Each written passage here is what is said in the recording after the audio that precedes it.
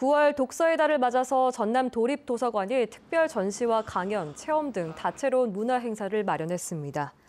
특별 전시로는 홍혜란 작가의 수학, 놀이가 되다가 오는 29일까지 계속되는 가운데 숫자를 활용한 조각 작품과 파보나치, 피보나치 수열, 오일러 공식 등을 시각적으로 구현해 눈길을 끌고 있습니다. 이 밖에도 이야기로 만나는 sand art 공연과 올해의 책 작가 강연, 주제 도서 전시 등이 펼쳐지고 연체 도서를 모두 반납하면 즉시 대출 정지를 해제시켜주는 행사도 함께 열립니다.